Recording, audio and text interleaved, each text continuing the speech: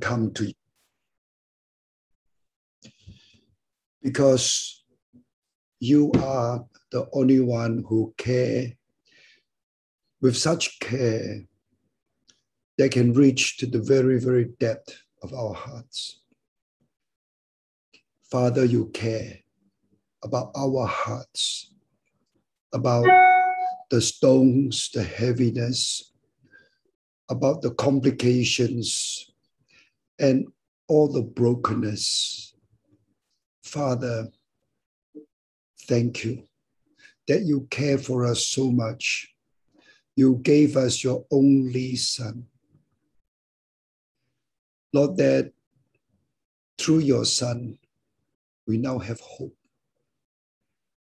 And through your Holy Spirit, we now have a companion to fellowship with. Father God, we ask that as we all come together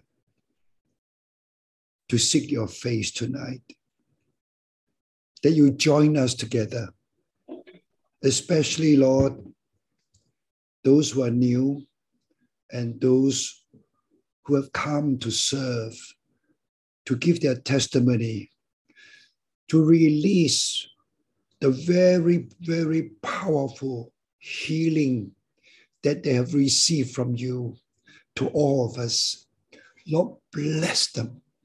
Bless them greatly to flow from you words that will touch hearts. And that, Lord, many, many, many of us will hand over the stones to you for our own healings. Father, we especially pray for Pastor Simeon.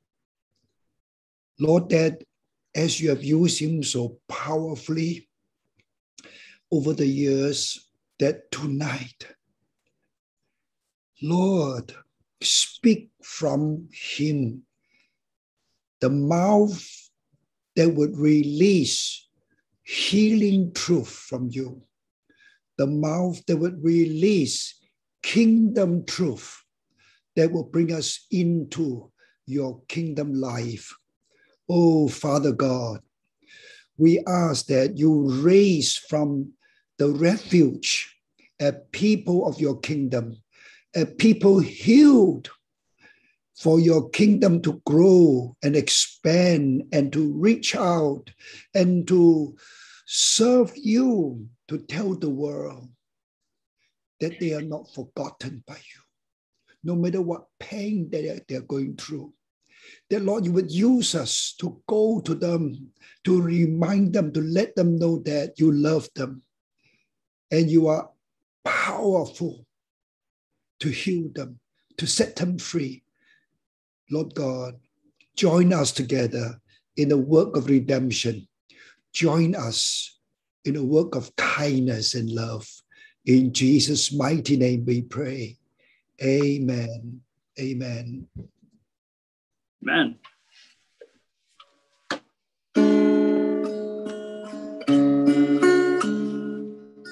We'll sing a few simple songs before we get into the word and I must say that last week I really enjoyed the session and I'm blessed by it. And I'm really looking forward to the next many weeks. Thank you very much. As the deer panted for the water, so my soul longed after thee. As the deer panted for the water, so my soul longed after thee. You alone are my heart's desire, and I long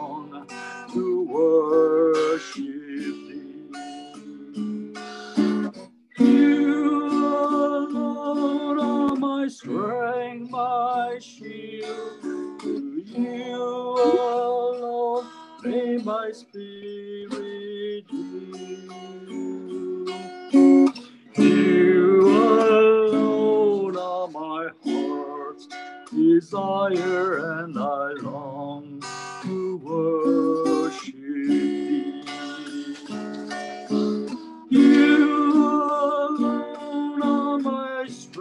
my shield.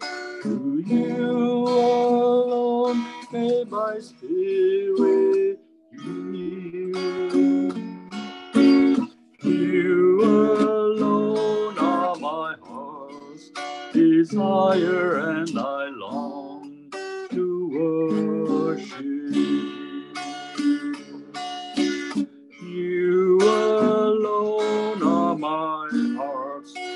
desire, and I long to worship. Come on and celebrate this gift of love. We will celebrate the Son of God who loved us and gave us life. Shout your praise, O King. You gave us joy, nothing else can bring. We sing to you our offering, celebration, praise. Come on and celebrate, celebrate, celebrate and sing. Celebrate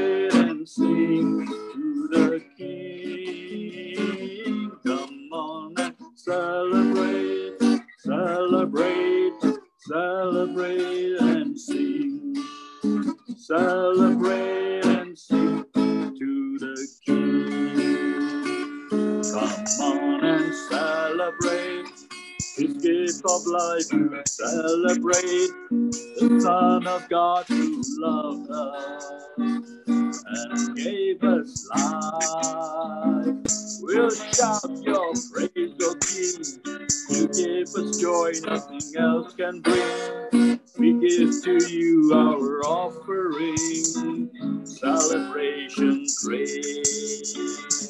Come on and celebrate,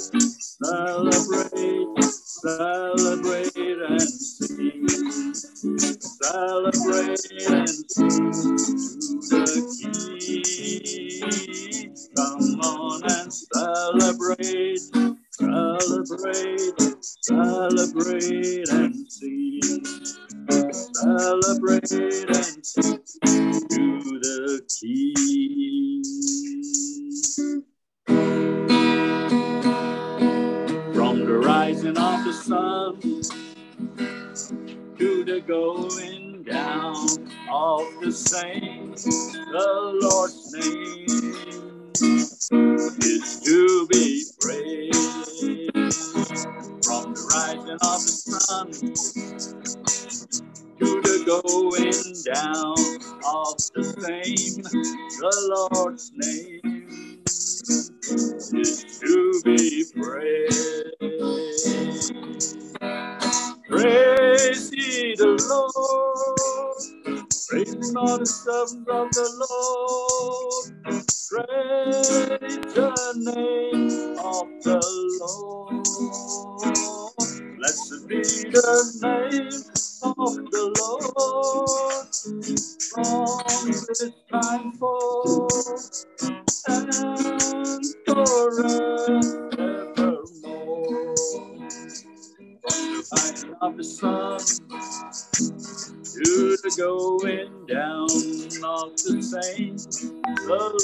name is to be praised.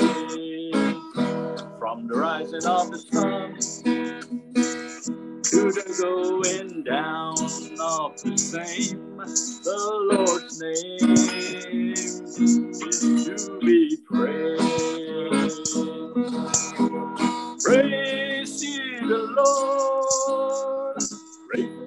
The of the Lord. Praise the name of the Lord. Blessed be the name of the Lord from this time forth and forevermore. Amen. That's our uh, worship for tonight. Over to you.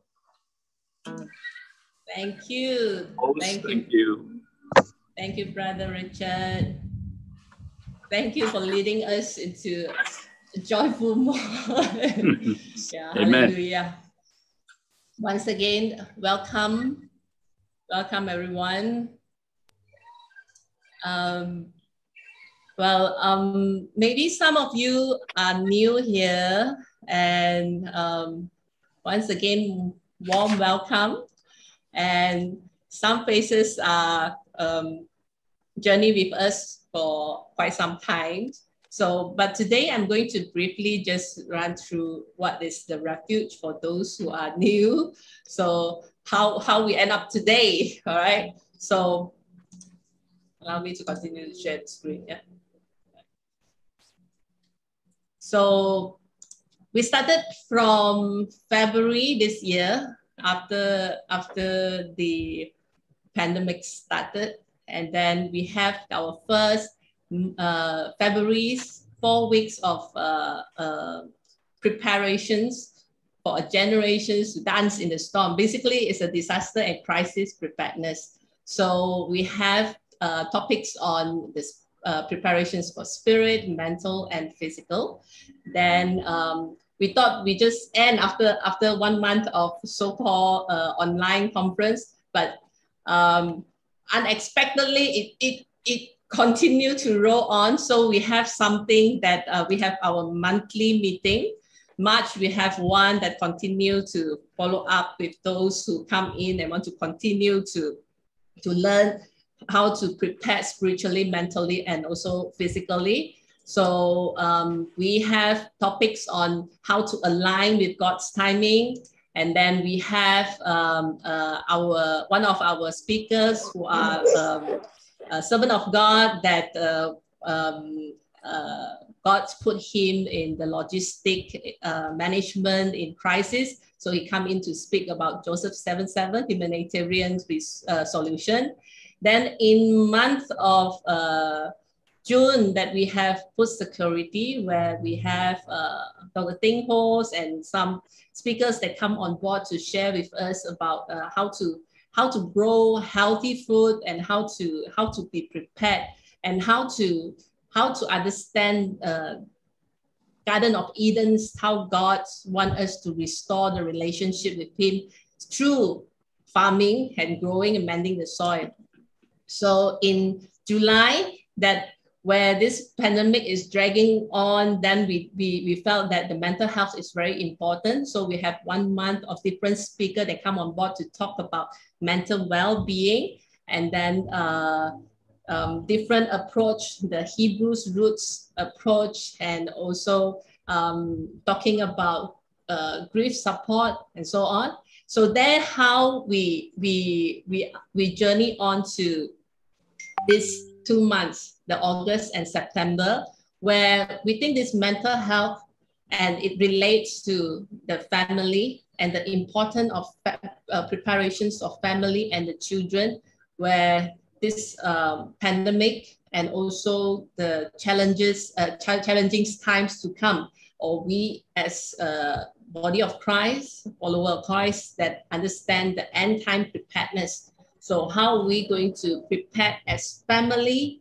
as a body, a very primary unit of a community, how to prepare them. So that is where we have uh, uh, our, our beloved speaker, Pastor Simeons on board to not just talk about uh, families, how, how we're going to prepare, but starting from very individual, uh, in, uh, intimate relationship with God, restoring the, the, the relationship with God, and then to the family. So that is where um, these pictures that come into picture. So this is also a, a, a, a season of um, preparing the fourth feast in the Hebrews calendar, where we know about the feasts that uh, emphasized in the Old Testament as well as in the New Testament. So this is how the pictures is, is a journey for us to prepare the family, individual, children, and a journey that going uphill to the mountain to have this feast of ingathering, or it calls a feast of tabernacles or Sukkot, which is at the end of September. It is just so uh, parallel to his timing that this this uh, these topics that coming together we're preparing families where, where this uh, appointed time of Feast of Tabernacles that we're emphasizing on families that dwell together under one roof with the presence of God. So this is a rehearsal uh, year after years, generations to generations, where God's um, uh, the season and times that understand by His children, where He talked to the Israel uh, Israelites, where we are the ingrafted, uh, ingrafted in the believer of Christ. So, um, so this is a this is a scriptures that that is imprinted in our hearts that for for this season, these two months, where Deuteronomy six Hear, O Israel, the Lord our God, the Lord is one.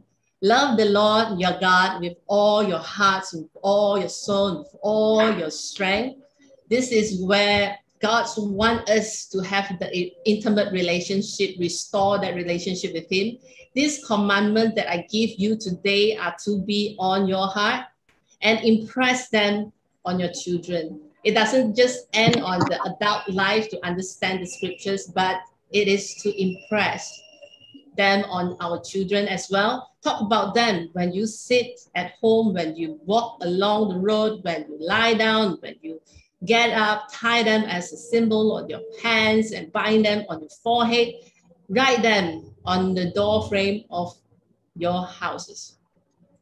So last week we have started with uh, Brother Daniels and families come on board to share to share a story that is under one roof. So this is a this is the pictures that we we we want to we want to uh, combine and merge during these sessions. Is that we have a family story time, then we relate to the the message, and then we have a practical time at the end. So it is a story that just now what we mentioned that it is his story so it is a powerful message, a powerful witness of his goodness and greatness and all, all that he has done from the Old Testament, where the covenant story from Abraham, which uh, Brother Daniels and families have painted last, last week. And it also, it links to a beautiful covenant story, a relationship with God. So it emphasized on hearing and obeying the Lord, which is the righteousness that God wants us to have with Him, and keeping the commandment, not just a old old story that we are talking to to to children, but it is a life where where Pastor Simeons come on board and and share about life uh, life testimony of ongoing abundant life in the kingdom but encouraging us to really want that abundant life, desire of that abundant life for the first uh, sessions, that the life shining with Jesus Christ in the center, that the abundant life is so important, especially in this season, that so much of mess and chaos out there, the darkness and broken world out there, where the body of Christ needs to have this very core um, Jesus Christ in the center and we can shine for him and be the light and be the salt. So the covenant story continue to flow even to every primary unit family as one, each one under covering and find uh, the narrow path and removing stone, which is today, this is our, our uh, this week topic. All right. So um, that's um, I'm going to, I'm just going to share a, a, a, a short video about the covenant. So where this is a, a, a, story time. So every week, this story time will build up why eventually at the end of the eight weeks, there is a Sukkot, the where children's families that are going to build up the camp that dwell together. If you've been around Christians, you've probably heard of the idea of having a personal relationship with God, which could mean different things in the Bible, like having God as a friend, or your father, or maybe your teacher. But there's one particular way that the Bible talks about this relationship that you find all over. But strangely, we don't talk about it that much. And that's the idea of a partnership with God. A partnership like working alongside someone to accomplish a goal together. Right. And this is actually what you see at the beginning of the Bible. God creates this good world full of all of this potential. And then God appoints these unique creatures, humans, as his partners in bringing more and more goodness out of all that potential. But the humans don't want to partner with God. They rebel and try to create a world on their own terms. And so, this broken partnership is the Bible's explanation for why we're stuck in a world of corruption and injustice and the tragedy of death. It's not like there's just one or two humans who have bailed on this relationship. In the story of the Bible, everyone has abandoned the partnership with God. So, what God does is select a smaller group of people out of the many, and He makes a new partnership with them called a covenant. And in a covenant, God makes promises and then in exchange asks his partner to fulfill certain commitments. And the purpose of all of this is to somehow use this covenant relationship to renew his partnership with everybody else. Now, there are actually four times in the Old Testament that we're told God initiates a covenant relationship with Noah, Abraham, the nation of Israel, and King David. And it's through these that God is forming a covenant family into which all people will eventually be invited. So let's see how these work. The first one is with Noah. So in this story, God has just brought the flood to cleanse the world of humanity's corruption, and Noah and his family are the only ones left. And so God makes a covenant with Noah, saying, Listen, I know that humans will continue to be evil, but despite that, I'm not going to destroy it like this again. Instead, the earth will be this reliable place for us to work together. Great. So, what does Noah have to do? Nothing. And that's what's so interesting about this first covenant is that God is promising to be faithful even though he knows humans won't be. The next time we see God make a covenant is with a man named Abraham. God chooses him, promises to bless him, give him a large family, lots of land where they can flourish. And in return, God asks Abraham to trust him and train up his family to do what is right and just. And the whole reason for this covenant is God says that somehow he's going to bring his blessing to all families of the world through this one family. So that's Abraham. The next time we see God make a covenant is when Abraham's family grows into the tribe of Israel. And this covenant is with the whole tribe. God asks them to obey a set of laws, which are these guidelines for living well as a community of God's partners. And if they do this, then God promises to bless them and that they will become a people who then represent Him to the rest of humanity. That's the covenant with Israel. The last covenant is with King David. Yeah, the tribe of Israel has become this large nation ruled by David. And God asked David and his descendants to partner with him by leading Israel in obeying the laws and doing what is right and just. And God promises that one day, one of David's sons will come and extend God's kingdom of peace and blessing over all the nations. So, those are the four covenants that God makes in order to restore his partnership with the whole world. But here's what happens Israel breaks the covenant. They worship other gods, they allow horrible injustice, and so they lose their land and are forced off into exile. So it seems hopeless. But during this time, Israel's prophets talked about a day when God would restore these covenants in spite of Israel's failure, somehow. Yeah, they called it the new covenant. And this is actually what's so interesting about Jesus is that he's introduced into this story as the one who fulfills all of these covenant relationships. We're told that he's from the family of Abraham, and so he will bring the blessings of that family to the whole world. We're told that he's the faithful Israelite who is able to truly obey the law. And we're told that he's the king from the line of David, and so he goes about extending God's kingdom of justice and peace to all. And that's really remarkable for one guy. Yeah, and what it highlights is perhaps the most surprising claim of all made about this man that Jesus is no mere human, but rather God become human. And God did this in order to be that faithful covenant partner that we are all made to be, but have failed to be. And so through Jesus, God has opened up a way for anyone to be in a renewed partnership with Him. So Jesus calls people to follow him and become part of this new covenant family. And despite their failures, Jesus is committed to making them into partners who are becoming more and more faithful. The story of the Bible ends with a vision of a fully renewed world, full of goodness and peace. And there's this renewed humanity there, partnering together with God to expand the goodness of his creation. And so the end of the Bible story is really a new beginning. Hey. Th- so this is the story of the covenant, and I just want to share with, uh, with you these three scriptures. And this is my last slide, and I pass the time to Pastor Simeon. So with the covenant story that just now we have shared with you, all, so links to what we are going to share um, uh, by, by Pastor Simeons and the team. So Ezekiel 11 verse 18 to 20. I just emphasize on verse 19. I will give you, I will give them an undivided heart and put a new spirit in them, and I will remove from them their hearts of stones and give them a heart of flesh. This is a new covenant that when this happens, then they will follow my decree and be careful to keep my law. They will be my people and I will be their God.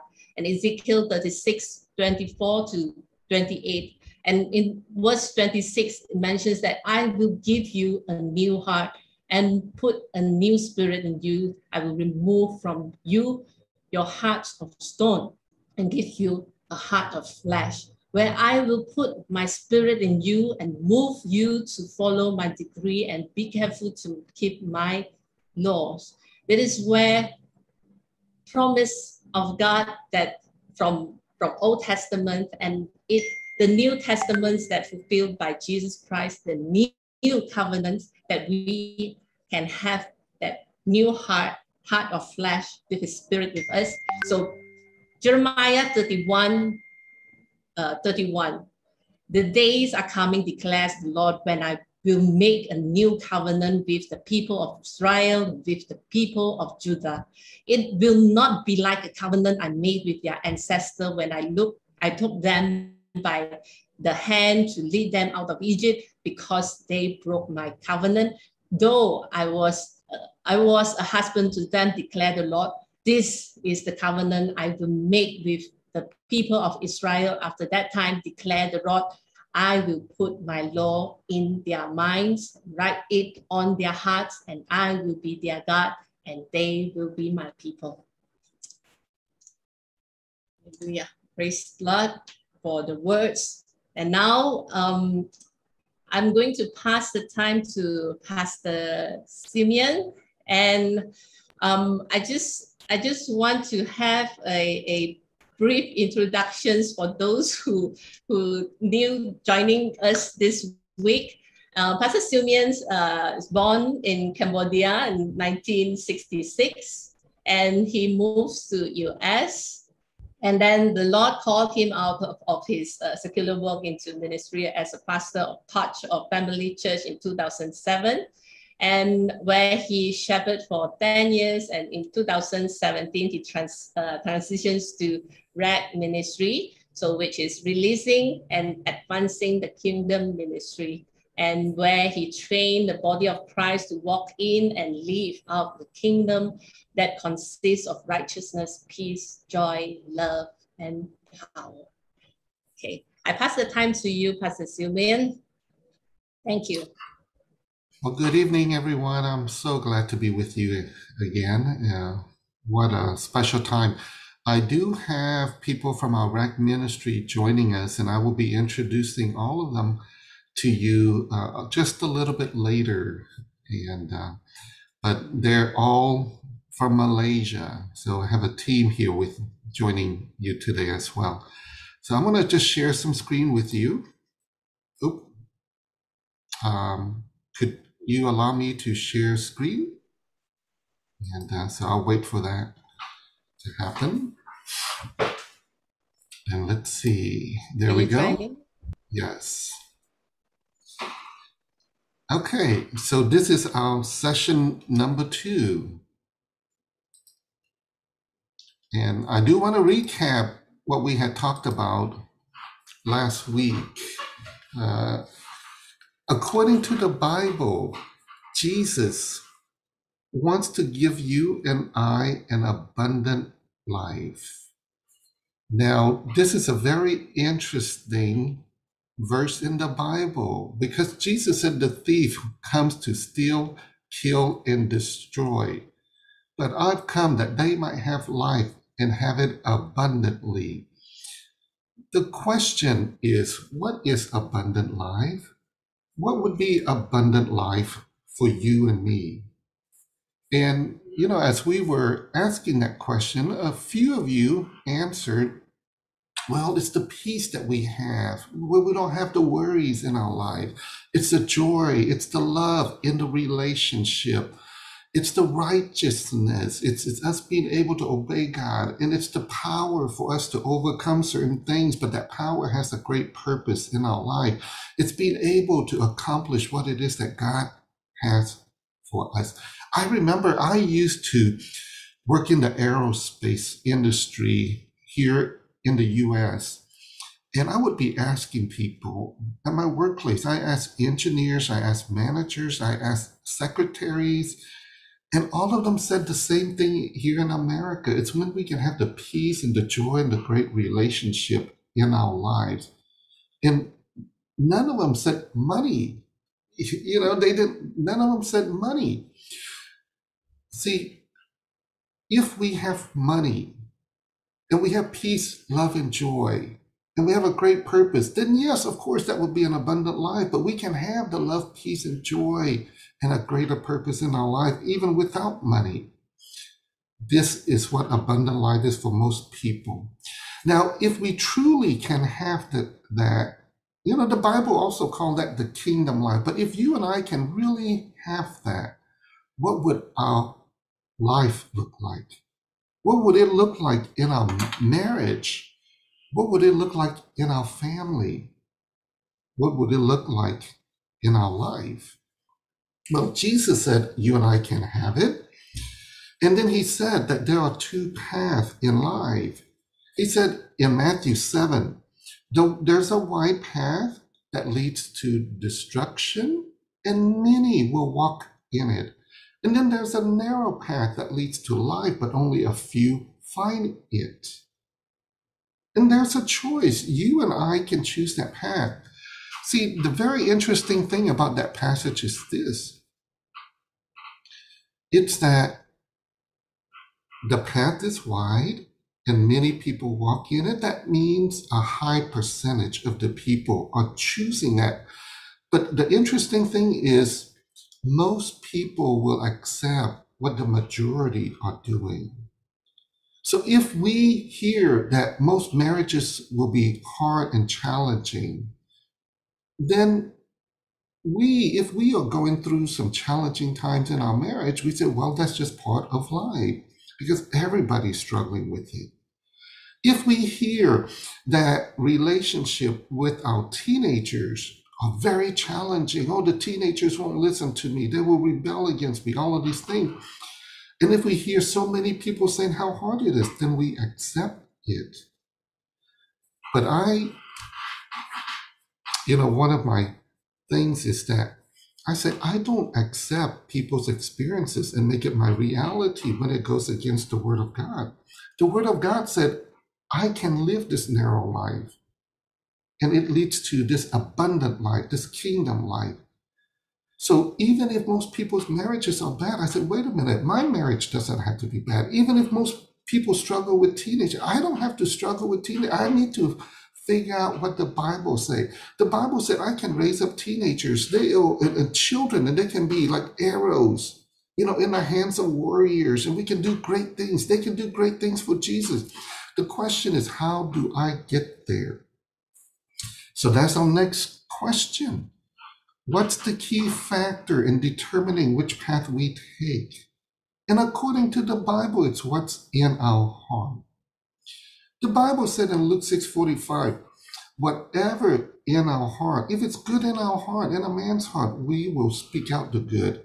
If there's evil in our heart, we'll speak out the evil. What and our mouth will speak out what our heart is full of. So if we have anger in our heart, we're going to speak out anger. If we have love, we'll speak out love. But then it also says this Proverbs 4 23. it says that out, you know, be careful to guard your heart because whatever you have in your heart, you will do it. Whatever you have in your heart, it will determine the course of your life. It will determine which path we take. See, if our hearts can be filled with, if it's filled with negative things, we will do those negative things. You know, Dr. Grace had just read out from Ezekiel 36. And God was telling Ezekiel that the Israelites' hearts can be full with stones. He wants to remove the hearts of stones and give us a heart of flesh, a heart of life. And we also look, according to the Bible, what those stones are. The stones can be our negative emotion, it can be our sins, it can be our lies that we believe in. Think about this. If you and I, if our family, if our loved ones have these stones in their heart, how would they live their life? If we have anger, if we have fear, if we have anxiety and depression and hate and shame, if we have sins in our heart, if we have addiction issues, we have pride and judgmental spirit, if we worship other gods, if money is an idol, if our family is an idol, if our hobby is an idol, how would we live our life? And if we believe in certain lies, because the devil is the father of all lies, if we believe that we're worthless, we're not good enough, we're usually, how do we live our lives? Do you think it's easy to have peace and joy when we have hate and anxiety? No, no, no. It's very hard. Do you think it's easy for us to choose the narrow path when we have so much fear and sin in our lives? Is it easy to obey the Lord when we feel like we're so worthless and useless? It's very difficult, very difficult. That's why most people struggle with it. Do you know, I work with many marriages. And before we see marriage restored, we get rid of these stones. I help them get rid of the stones. Once the stones are removed, it's so easy for the marriage to be restored. It's so easy to help people live the life that God has for them.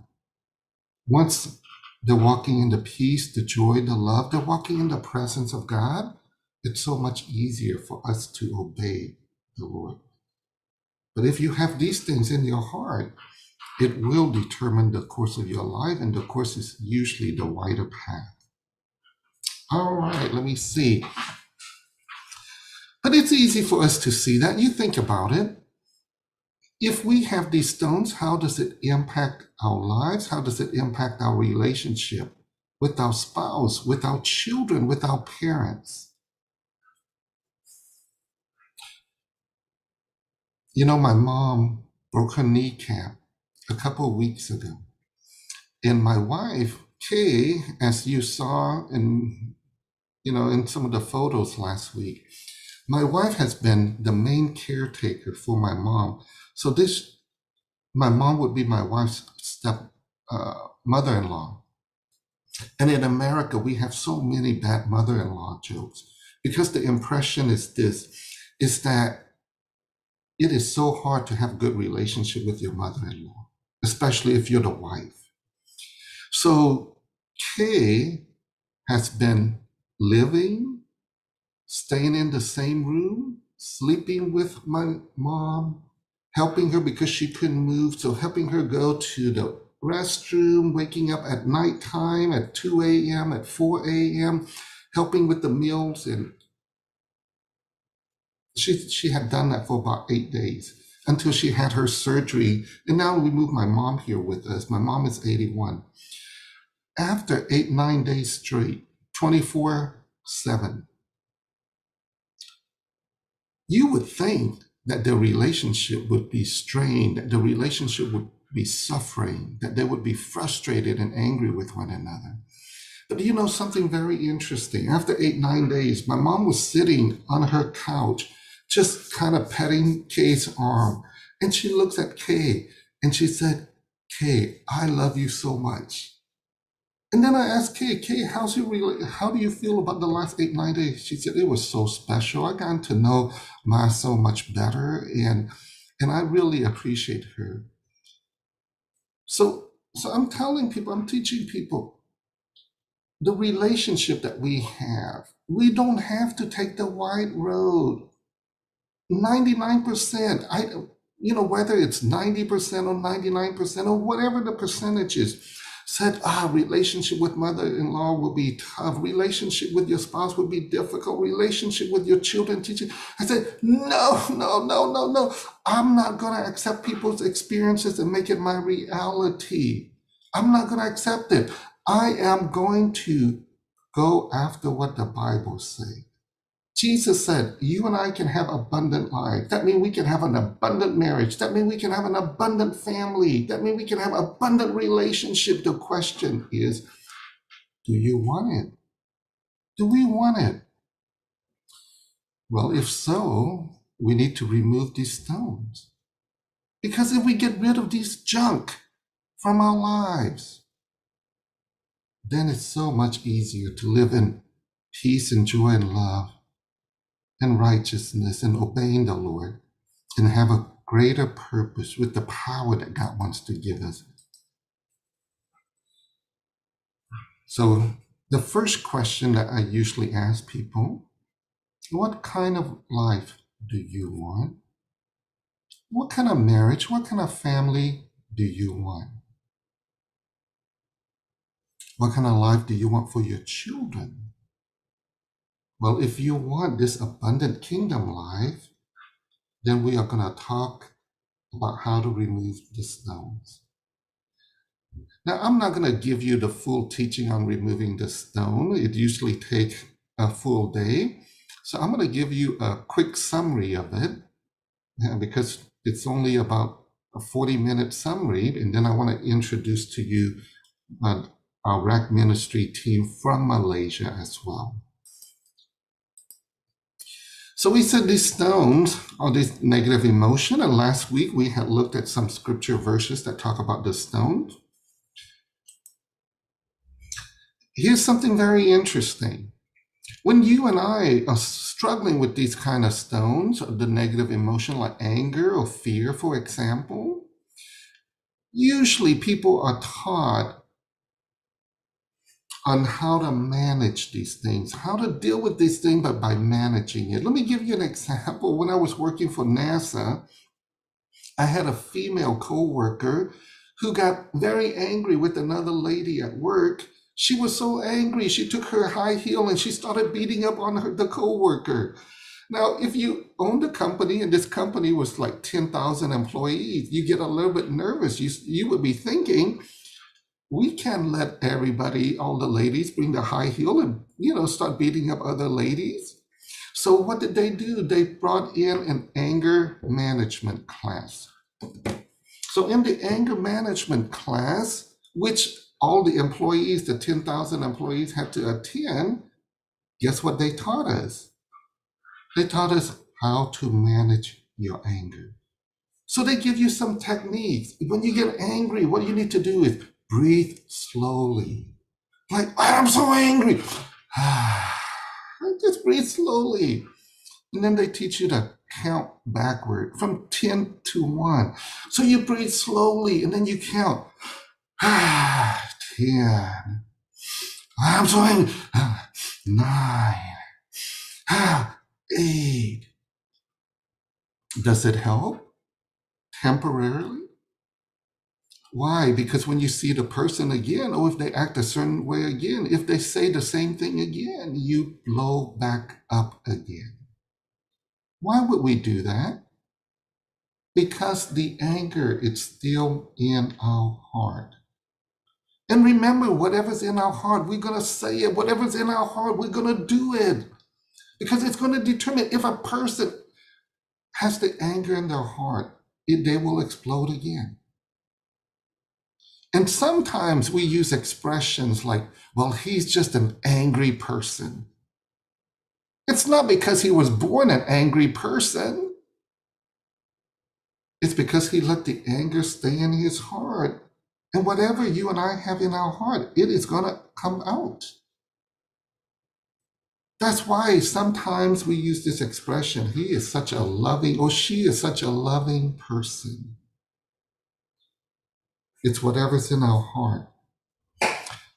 Or sometimes people say this well, when they were a little girl, when she was a little girl, she was so loving, but she's changed now. Why would a loving girl change to be no longer loving? Because this little girl learned that if I am loving to people, people hurt me and I can't be loving anymore. And, and they start letting these things in their heart. And whatever's in their heart will produce that fruit in their lives.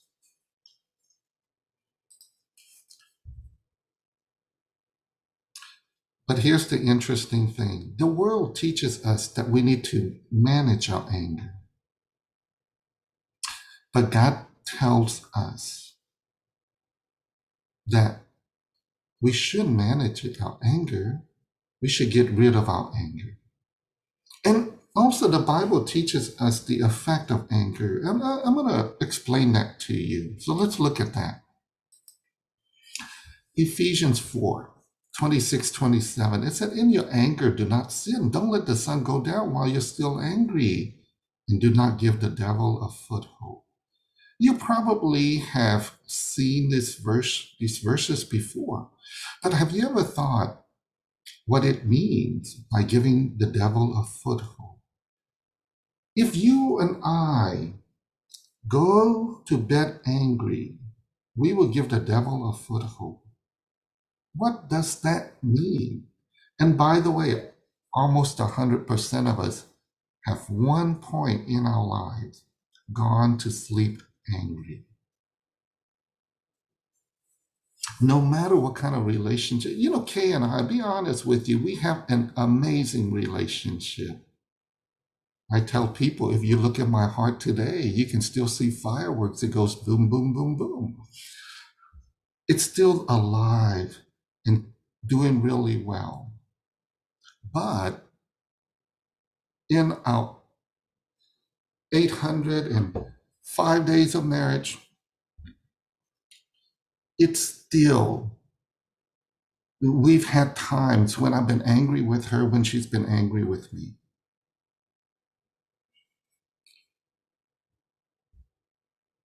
But we try not to go to sleep with that anger. Because it said it will give the devil a foothold.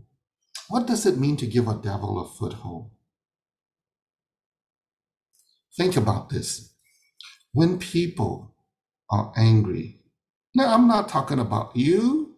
I know you guys are all strong in the Lord and you probably don't have to deal with anger much anymore.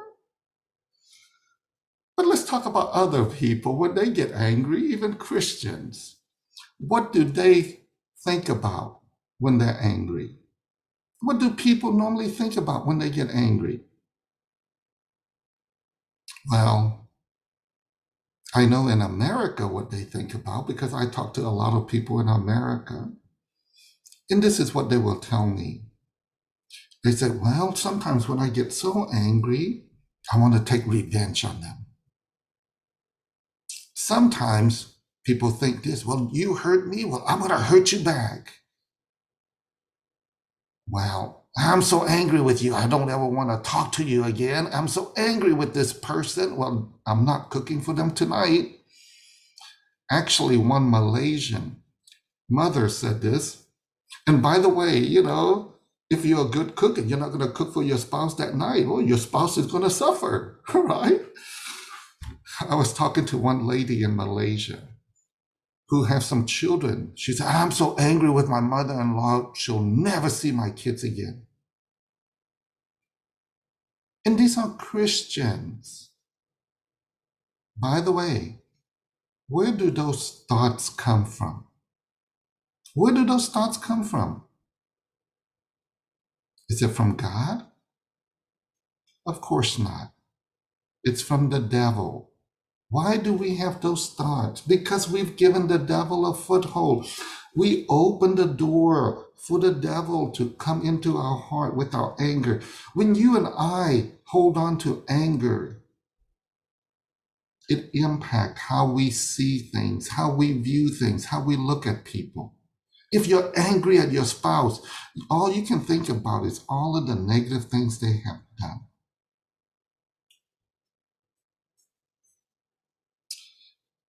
Let me share a personal story with you.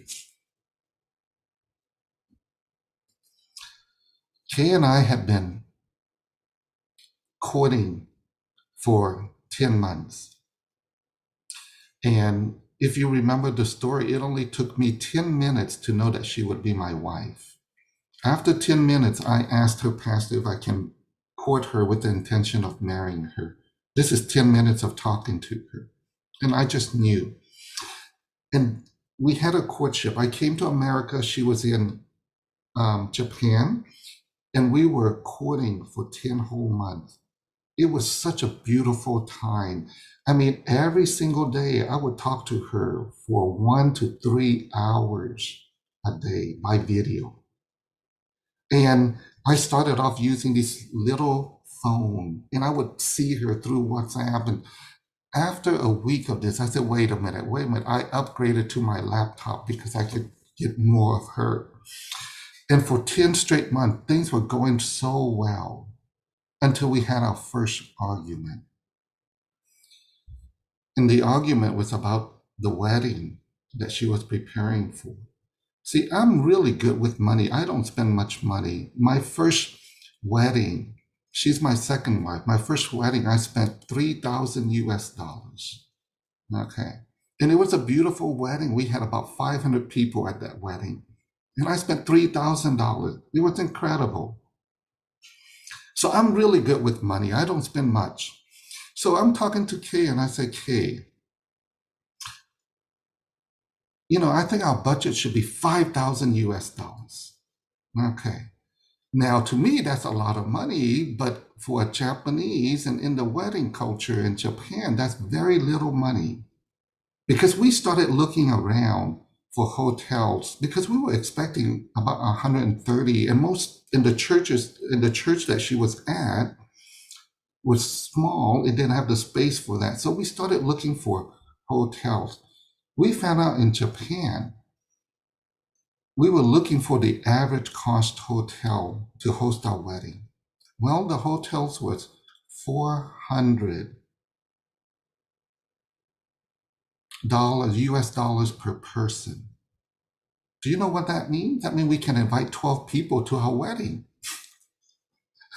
And so she sent me an Excel file of a breakdown of the um, the uh, the cost, and it was about twenty thousand U.S. dollars. And when I looked at that, I said, "Oh my, that's a little bit high." Because I'm thinking five thousand and it's twenty thousand. I said that's a little bit high. Now we only had this was January, the wedding was in June, and she hasn't sent out the invitation. She was getting a little bit stressed. We had people coming from out of the country, and she made this statement. She said, Well, Simeon, you don't understand the Japanese culture. Maybe you should marry a Japanese woman. Do you know what I heard? What I heard was this I said, wait, wait, wait, wait, wait. We're not even married and you already want to divorce me? What's going on here? So this was our first argument. I got upset with her. She got upset with me. And remember, for 10 straight months, by the way, I didn't start courting her because of love. I mean, I didn't look at her for 10 minutes and all of a sudden, oh, I love Kay so much, I want to marry her. I just knew she would be the one for me based on the requirements that I asked the Lord for, and she met those requirements. But for 10 straight months, as I talked to her, one, two hours a day, there was a day when we talked over three hours every day. Every day she became more and more beautiful to me. But that one day, our first argument, Okay, I'm ashamed to say this, but when I looked at her on the laptop, I said, Kay, you don't look beautiful anymore. But you know, Kay is such an amazing lady. Amazing lady. Because we dealt with it. See, I was in Malaysia that night, actually. And um, and she was in Japan. I wasn't in the US, I was in Malaysia. And I, and I remembered we dealt with it that night. We said, okay, let's get rid of this anger. But the next day, the next night when we were talking again, she was good. All the anger in her heart was gone. But I was still disappointed and angry. I kept thinking, what does she mean? I don't understand Japanese woman. Why does she want to? I, I felt like she already wanted to divorce me. And Kay is such an amazing lady. You know what she said? She said, Simeon, you take your time. Take your time. Process this. You know, when she said that, the Lord reminded me of a verse in the Bible. Husband, love your wife as Christ loved the church. And I was thinking, I said, Lord, I'm not loving Kay like that. Lord, I want that.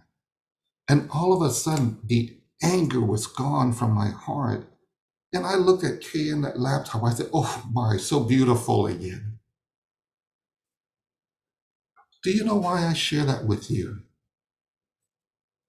It's because when you and I hold anger in our heart, it will alter how we see things. We will see things from a devil perspective.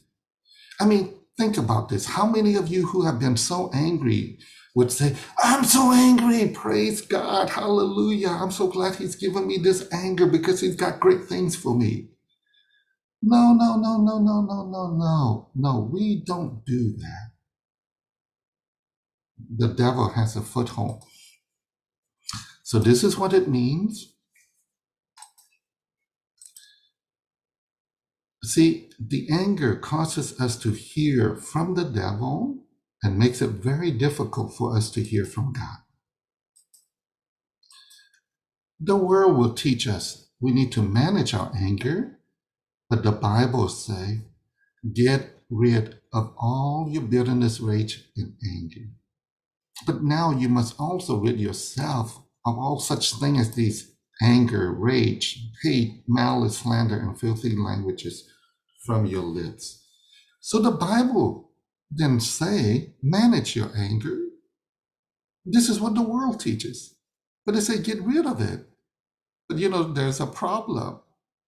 The problem is it doesn't tell us how to get rid of anger. God didn't tell us how. But the good news is this if God tells us in multiple instances to do something and He doesn't tell us how, it means there are multiple ways to do it. And in the removing the stone training, we teach people one way to do it. And during our practice, the breakout session, the facilitator will teach you a very simple way on how to get rid of anger. Okay? And like I said, I'm not going to do the the whole teaching on this It's just a quick summary for you. Well, some people will say, well, I've already forgiven that person, but I can't forget what they've done. That's not complete healing. Many people have gone through ministry and they've gotten rid of the, the unforgiveness. But they will say, I can forgive, but I can't forget. And a lot of people have said that. That's not true healing. Why? Because when they think back to the past memory of the hurt that they had or the anger that they have, in that past memory, they can still remember the anger. They can still feel it or they can still feel the hurt. Like a lady that has been sexually abused. When she think back to the time of the abuse, oh, the fear, the hurt, the pain, the anger, the hate, still there in the memory in the removing the stone training, we teach people how to get rid of the anger, not only from the present, but also from the past. So when you go back to the past memory, the memory should be healed up. It should be either neutral or peaceful or positive. Even with ladies who have been sexually abused. You said, How is that possible? Well, Because Jesus is the same yesterday, today, and tomorrow. He can heal us not only today, but yesterday as well. And that's what we have seen with so many of the people that we work with.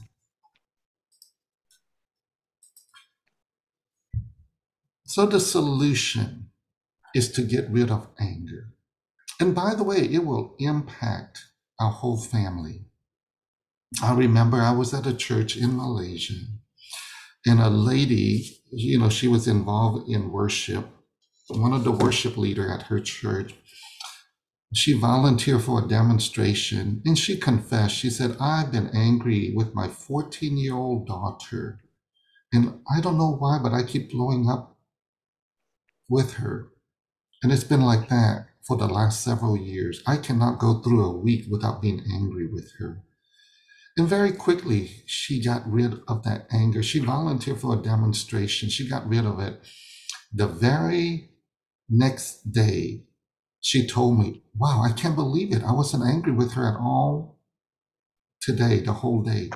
After about four days of training, at the end of the, the fourth day, or the end of our, our training, she asked if she can give a testimony. She said it was so incredible. This is the first time She's gone four days without being angry with her daughter. It's been a long time, she said.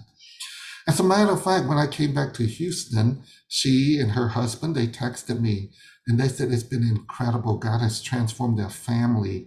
They have so much peace, so much joy.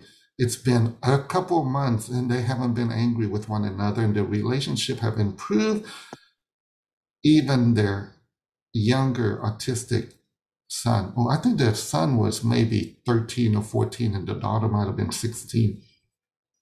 And the whole family started ministering to people. They not only had more peace and joy and love in their life, they were able to live their life with a greater purpose and be able to minister to people. Now, when we talk about anger, there are different expressions of anger and they have different weight. I don't know if you know this, but our negative emotions have different weight. That's why we can say, I'm a little bit angry at this person. I'm very angry at this person. They all have different weight. Fear have different weight. That's why Proverbs 12 25 tells us anxiety weighs down the heart. They're like stones, they're heavy. So the different weight for anger could be, well, I'm disappointed, I'm frustrated, I'm angry, I'm mad, I'm upset, I'm hurt, I hate. They're all the same expression of anger, but they come with different weight. Now, disappointment is a lot lighter than hatred, by the way. Different way. Depression, believe it or not, is a form of anger. It's just anger turns inward. So I have good news for you. When you learn to get rid of anger, it's the same thing as getting rid of disappointment. It's the same thing as getting rid of hate. It's the same thing as getting rid of depression.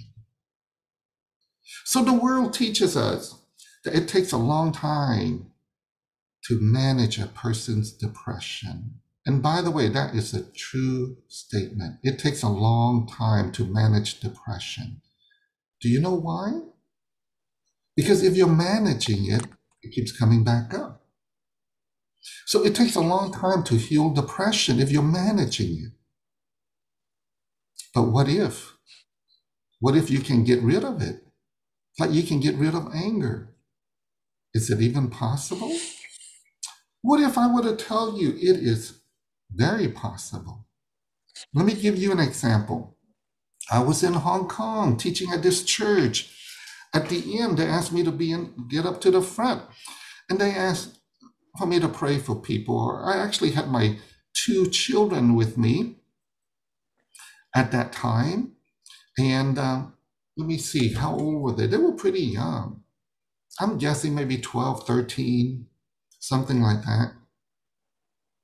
And so I had my children with me, and I said, okay, children, you come up, you pray for people too. So they have adults coming up, and my two kids were praying for uh, some of the adults that were lining up. And we had people line up on my line, on their line, and I'm praying for them. And we had this young lady, I'm assuming she's maybe in her 30s. I didn't ask, but she looked like she could have been in her 30s. And she came up to me and she was just crying, cried, cried, cried. So, my first question for her Are you angry with anyone? She said, Yes, I'm angry with my uncle because he had sexually abused her.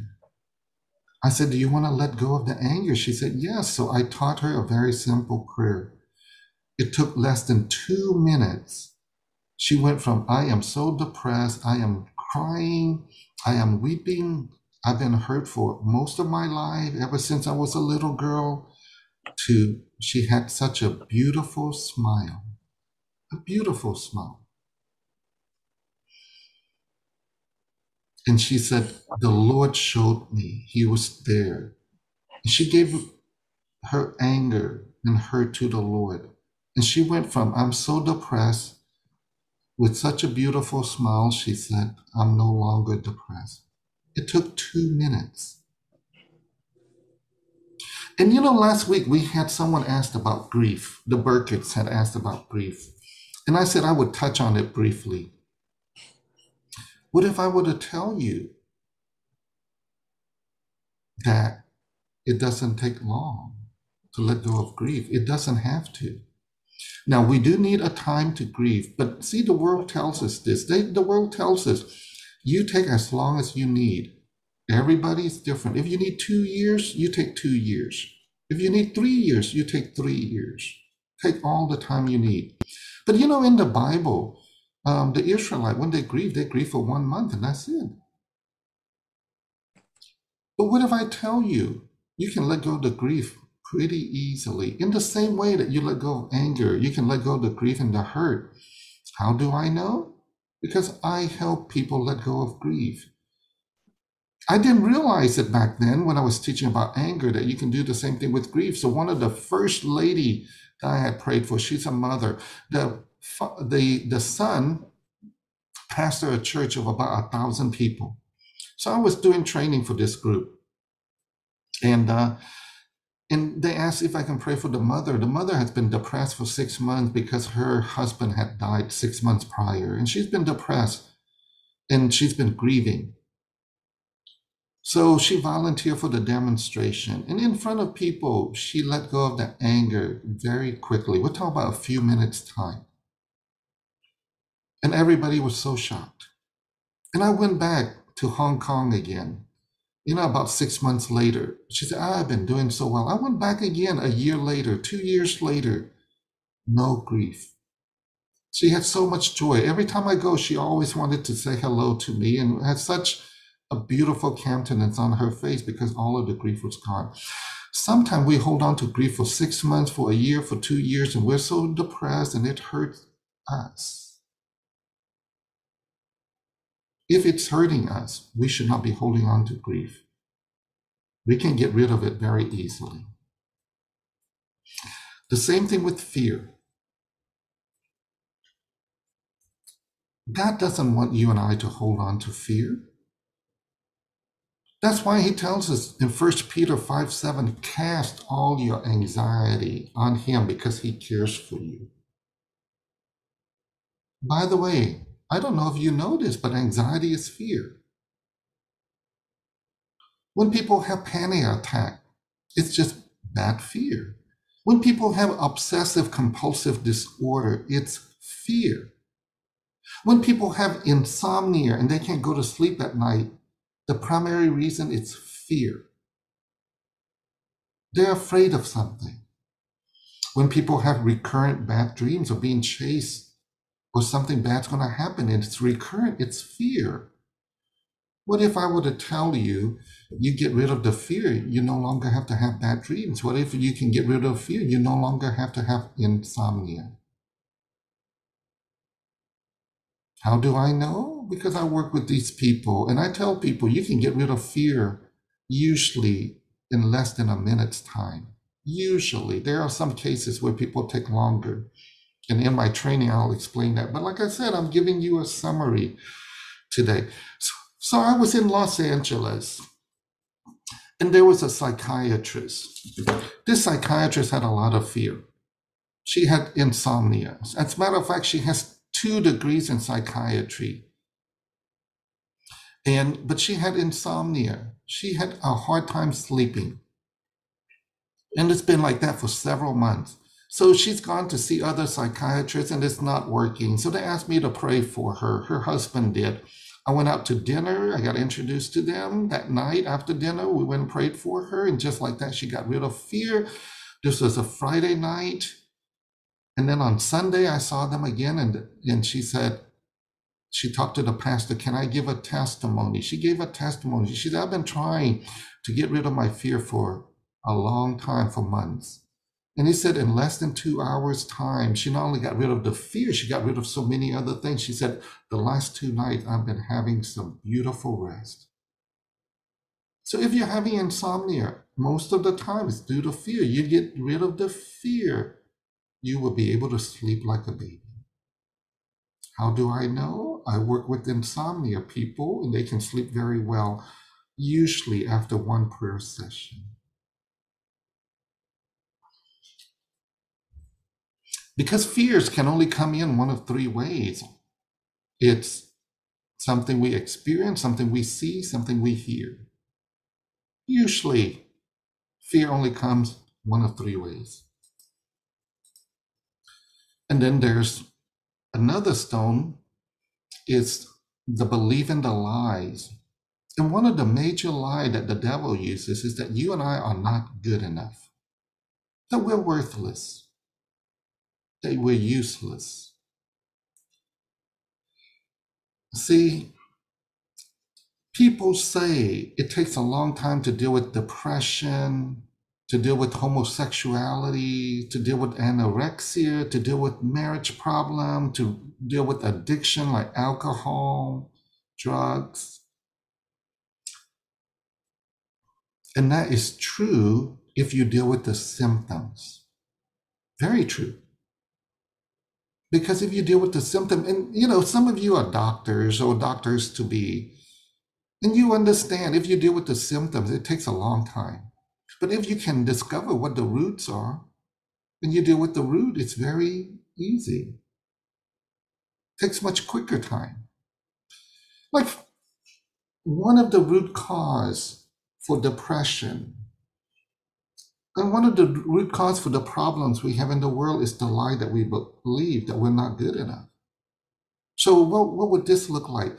Oh, poor me, I'm not good enough. Nobody loves me. I am so depressed. So I run to antidepressant. Oh, poor me, people, nobody loves me. So we live our life with the spirit of rejection.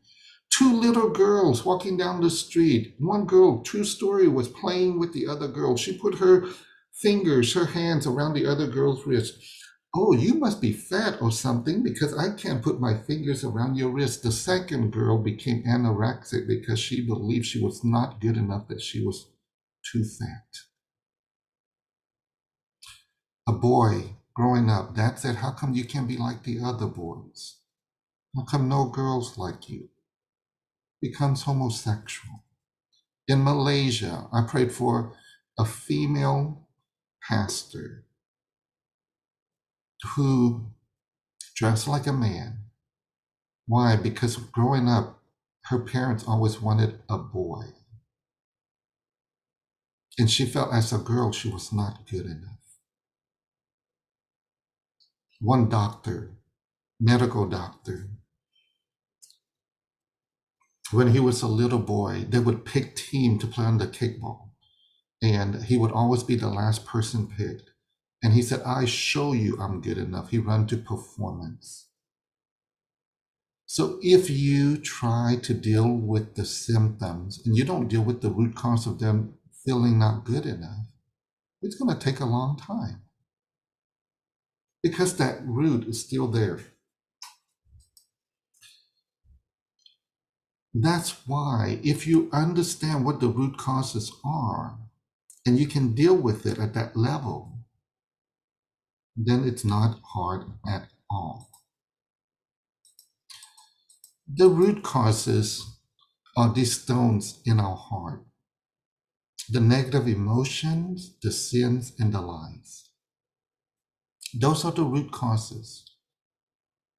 But I want to show you this other picture here and explain to you the order of how to deal with these things. Now, I didn't teach you how to get rid of anger, and we'll do that in a breakout session, and our team will help you. And also, do keep in mind this is not a full training, it's only a summary. Okay? So I'm not training you how to do this, and I just don't want to to we just don't have the time for it today. It takes the whole day. Okay.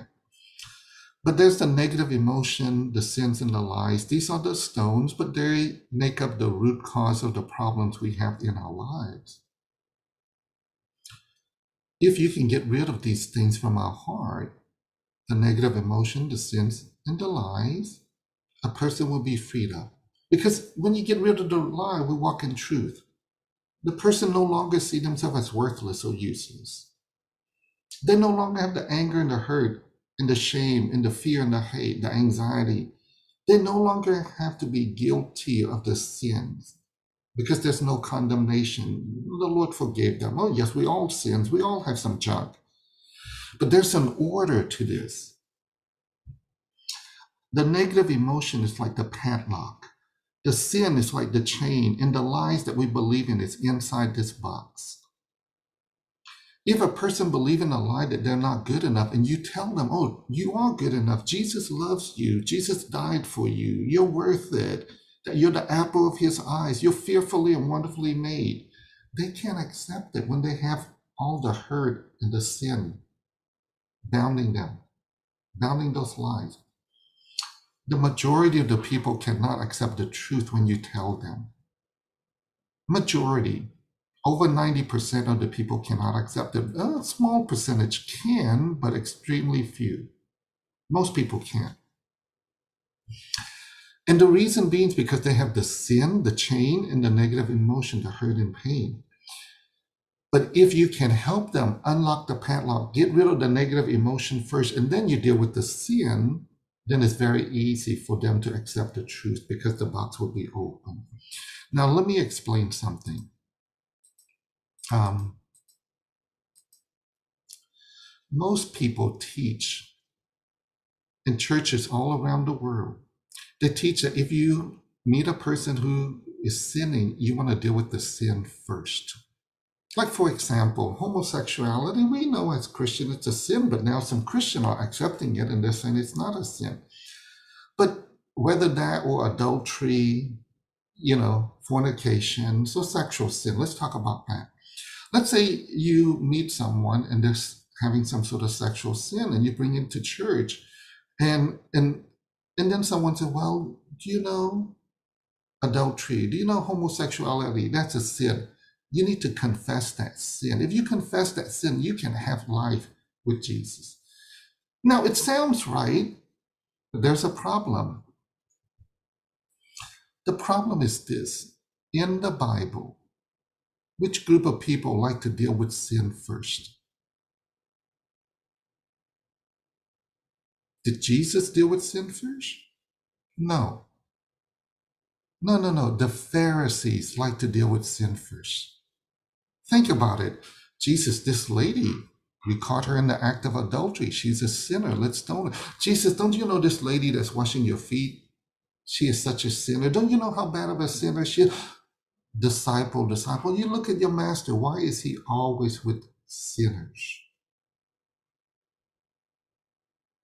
The Pharisees like to deal with sin first. Did Jesus deal with sin? Yes, but only after he dealt with their hurt and negative emotion, after he healed them. After he healed the lady caught in adultery, then he said, Go and sin no more.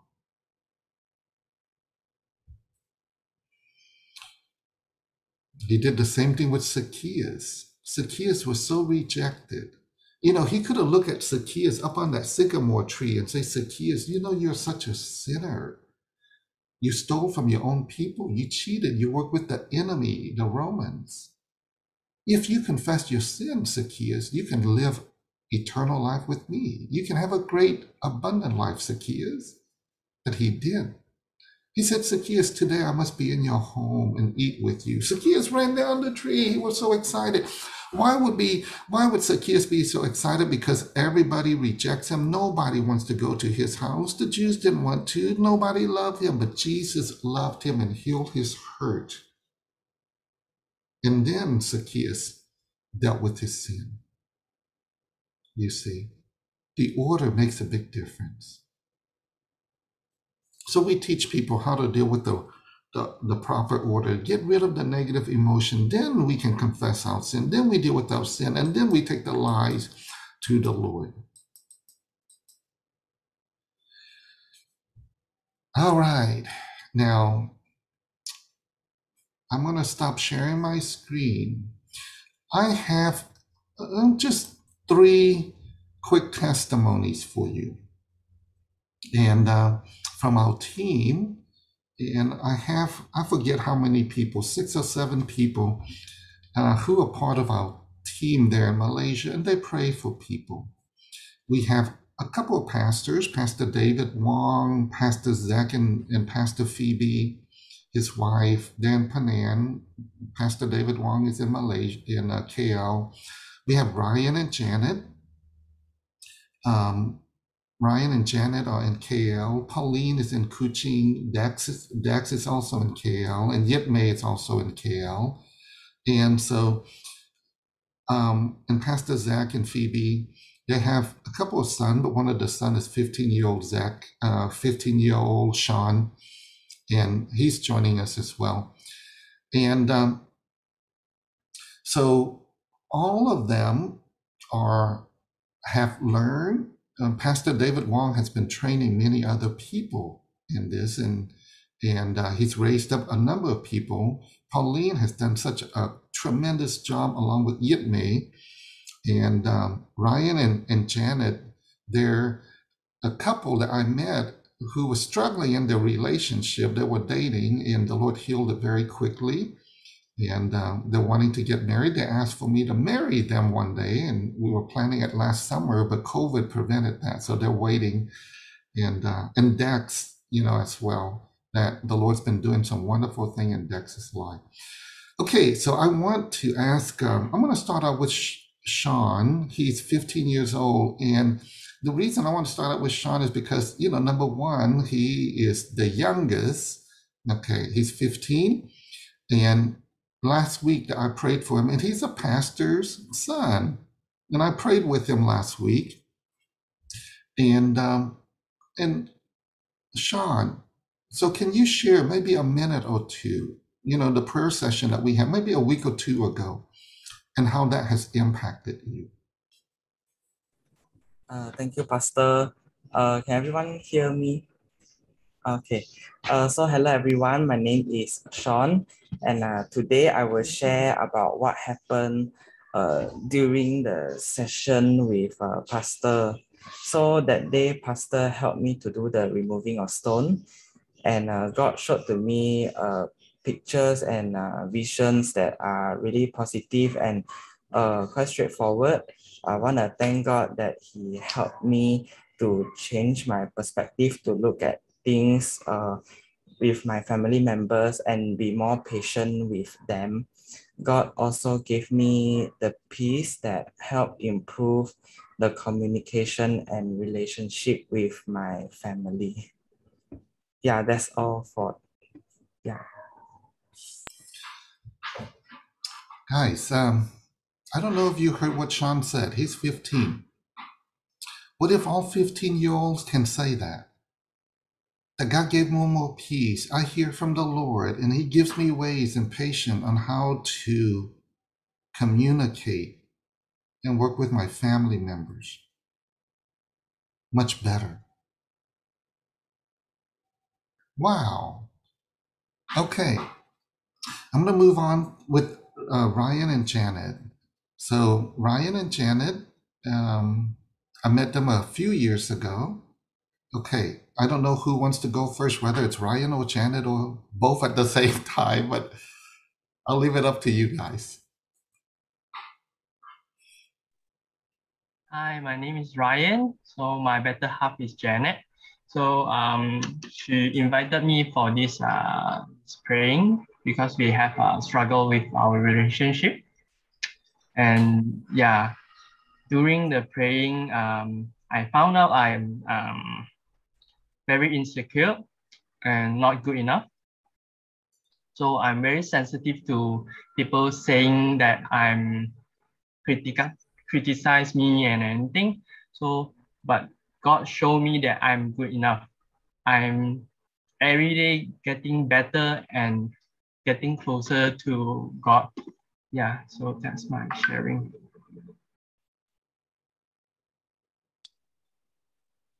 Hi everyone, my name is Janet. Um, yeah, so me and Ryan, we started our relationship with, I would say that from one to 10, our relationship stays at two. It was so bad to the extent that we, we yeah, we argue a lot, you know, other than uh, arguments, uh, we have like, you know, uh, anger and hatred, which includes involve our family members as well. So after the uh, removing stones, instantly, and we realized that both of us agree, and we came to a conclusion that we are at the number eight uh, rate uh, after removing stones. Yeah. So there on, of course, we still face, uh, you know, challenges, but um, it was so different because um, we know how to deal with it. We do not really like keep our, anger overnight. That's how our relationship gets better and better. Yeah. Thanks, Pastor. Thank you, Ryan and Janet. You know, Ryan and Janet also had shared with me that their their dating time was so bad that people in their church, you know, from their cell group leaders to the pastors and the pastor's wife and every person said, You guys need to break up. This will never work out. It was that bad. Every person, every leaders. But the Lord restored it pretty quickly. And they have a wonderful, they went from a two to an eight out of a 10 scale. That is extremely wonderful. All right. And it didn't take that long, actually. Okay, I want to move to Pauline. And uh, Pauline's in Kuching. And I just wanted her to share a, a testimony about what happened with her husband. Yeah. Okay. Um, well, yeah, this is quite an unusual kind of testimony here. My husband of, uh, well, he is now 54 okay? It was uh, only about three years ago that he actually lost his fear of cockroaches. For all his life he had an intense phobia of roaches okay? Um, and i find it it's so interesting because even pastor simeon asked me he remembers it so well you know because normally grown men would not be afraid of cockroaches but uh, yes, so my husband had that ever since he was very young. He they they came from they uh, from a humble family, so he had you know their living quarters and all that. I mean, basically, you know, living in the shop.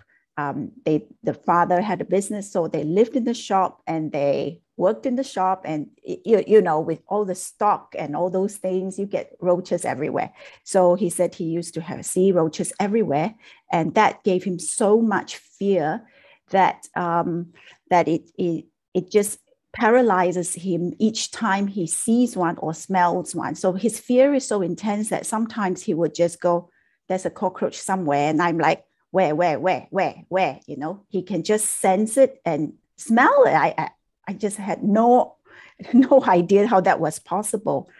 Um, and he tried many ways to try and get rid of that fear. Uh, but it was actually through one of these removing the stones um, uh, prayer. Um, in fact, it was um, after a, a, few times um, uh, he had dealt with other issues as well. But um, he he went he he had this uh, a prayer to ask the Lord to deliver him of that. It was a very emotional time. It wasn't easy, but he saw the Lord just taking that fear and taking away all those things that he was fearful of, a bag full of them. And he and, and, and that was done. But in order to confirm it, what we did was, with a good friend of ours who knew that, that he has this fear, we drove up, drove out to our kopitiam outside near our house. It was at night it, when it would happen. And we went to look for cockroaches to see whether he would be, he still had that fear. But strangely, we couldn't find any that night. So, so we went home. We were, we were like going, oh, we weren't sure. But um, we tried that again. Um, uh, I think it was like a couple of days later. And it was confirmed because what happened was that he saw a dead cockroach on the floor. In the past, he would just walk past really far. Okay. But what he did was that he actually went near it looked at it. Okay. And another time, uh, when he was with his mother, a cockroach just kind of ran from the kind of the side of the drain towards her, his mother's feet. And instinctively, he stepped, tried to step on it. Now, that would never have happened. And I can vouch for that. I've been married to him for almost 30 years now. So I can, I can tell you because I was always the roach killer.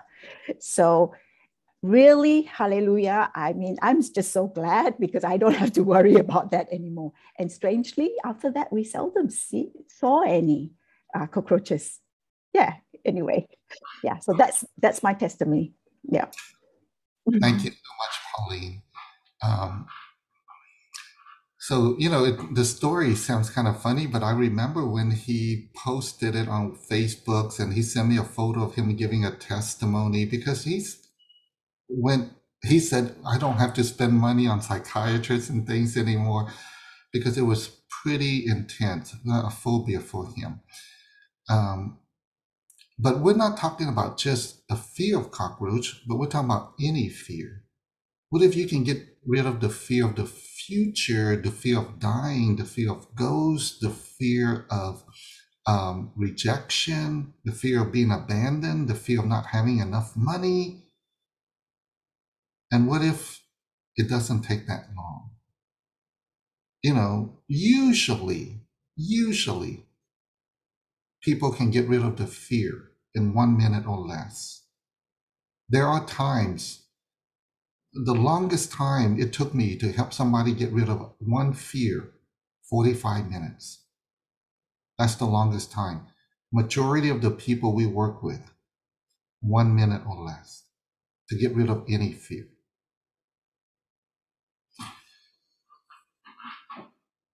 because we're dealing and we're teaching you how to deal with the root issues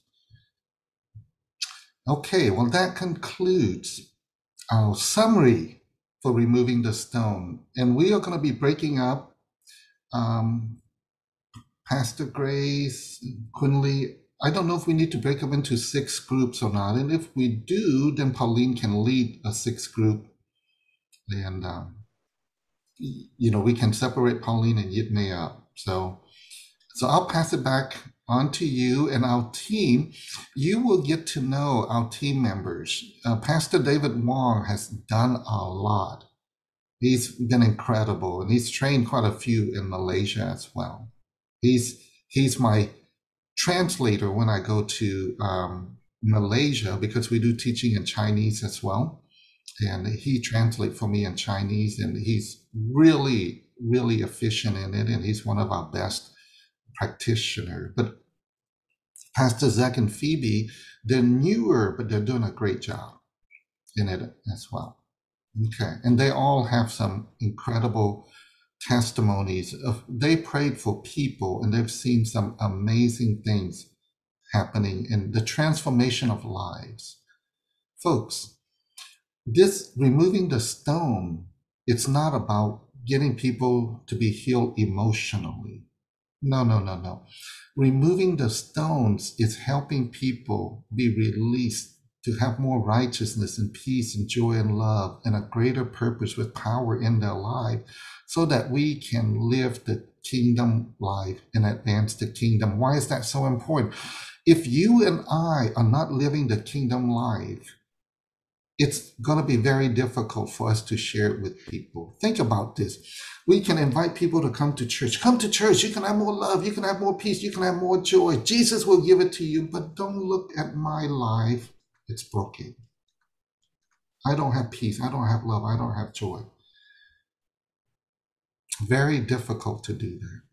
But if we're living it and we have amazing, abundant life, if we have great relationship with our spouse, with our children, with our parents, and it's a part of who we are, it is so much easier for us to pass it on to people. All right. Thank you for this time. I'll pass it on to back to Dr. Grace and we'll go from there. Thank you. Thank you, Pastor Simeon and the team. Thank you for a wonderful testimony. All right. So we will have six group because uh, we have 40 over participants.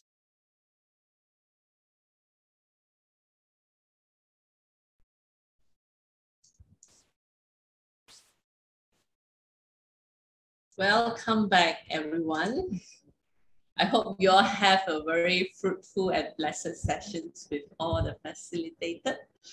Okay. Um, well, like what Pastor Simeon has mentioned, this is just a summarized, summarized, summarized session. So um, do you all, uh, can, can you all see the chat the, the chat box, uh, actually Pastor Simeon did send in his um, the website and the ministry website and the and the teaching videos. We can't website. see it. Could you resend it because okay. we were not there? Okay, so can't see it. So, yep. Thank you, Pastor Simeon. All right. Okay. So I pass the time to Pastor Simeons to conclude the session. Thank you so much, Dr. Grace. Okay, I did send out um, the ministry website, it's racministry.com. If you're interested in the details of learning to remove stones, it's under our online training, releasing and removing stones. And we had some interesting questions in, in my breakout group. One of the question is if we want to learn more and grow more and be involved in this ministry, how do we do that? So you go to those videos and um, look through the videos. And then if you're still interested after that, uh, I really strongly recommend that for those of you who want more peace and joy and love for yourself and your family, contact one of us. And um, my phone number or my uh, email address, I just send it, uh, Stella sent it to everyone at squan at racministry.com. If you get in touch with me, I'll get you connected to our Malaysian team. You know, uh, Pastor David is in charge of our Malaysian team. And Pastor David, if you feel comfortable, you know, uh, maybe you can put your email address there and you can contact him. If you need prayer session and you want someone in Malaysia, Pastor David can help coordinate that for us and he'll get one of the team members to pray with you. Or if you already have the team members' contact information, you can contact them directly. Or you can also go to our website as well uh, at racministry.com and you can sign up online. Now, if you're interested in growing more so that you can minister to your families and your friends and people in your church and so on, go to the video, learn it, and then if you're serious about it, you contact me and or Pastor David, and we will help you grow you know, uh, Pauline and Yitme and Pastor Zach and Pastor Phoebe and Ryan and Janet and Dax and, and Pastor David Wong, they all have been ministering to people. Now, you did not get to hear all their testimonies, not only for them personally, but for them ministering to people. They have amazing testimonies. And so, and I have another good news for you. All our ministry is free. We don't ever charge anything. Okay? So that's pretty good news, um, especially for our current environment. People are losing jobs. People have lots of fear. People are worried about the COVID. Families are being broken and falling apart. And so we want to help restore these people. Uh, we have young people, you know, we have teenagers, we have people who now are, are orphans and teenagers and uh, who are struggling. And so we want to be able to help minister to those people as well in the future. Well, I think that just concludes uh, our time, and I, I want us to close the time in prayer. And I'm going to ask Pastor David Wong to do that for us, if that's okay. Yeah, let's pray. Father, we thank you for this wonderful night that we can come together and share and learn and to walk in your ways. Lord, we thank you for all uh, the things that we have shared, all the testimonies that we have shared, and we thank you for all the angers that we have carried off tonight. Lord, we just give you the glory. Lord, help us to be pure in front of you. Help us to have a fresh, new heart so that we can choose the right path and we can walk in the kingdom and the power and we can be a blessing to many, Lord. So I uh, speak peace and blessings to everyone in the group, Lord. May your grace, your love, your joy fill everyone's and their family. In Jesus' name I pray, amen. Amen. Amen. And by the Amen. I wanted to say when you all came back and I saw the video of you, I really appreciate that because you know the first night a couple of Saturdays ago when I was teaching, no video was turned on. I was like, who am I talking to? So really appreciate you guys having your videos on and I hope more of you can do that if possible in the future so we get to know one another a little bit. All right, Dr. Grace, back to you if there's anything else. Otherwise, we'll see you next week, right? I think that's all for tonight. Thank you very much, Pastor Simeons and team. So I just want to mention that in the chat box, that is where the Facebook page is. If those who haven't registered yet, please do register so that we can have your email so the, the teaching material and the recording will be sending the link to you all. So um, the, the video will, will usually um, uh, upload to the Facebook page that we have sent up the link to. Okay, all right. Thank you very Oh, much, Dr. everyone. Grace. Dr. Grace, I have one more thought. If you're a pastor or a leader of a ministry and you want this for your church, also let me know because I work with people. Pastor Zach and Pastor Phoebe, I started joining them a few months ago and help raising them up. So we not only work with individual, but we work with churches as well and ministries as well. Okay. All right, that's all. Thank you, everyone. Thank you, everyone. Have a good night rest. Thank you. Bye. Thank you. Good night.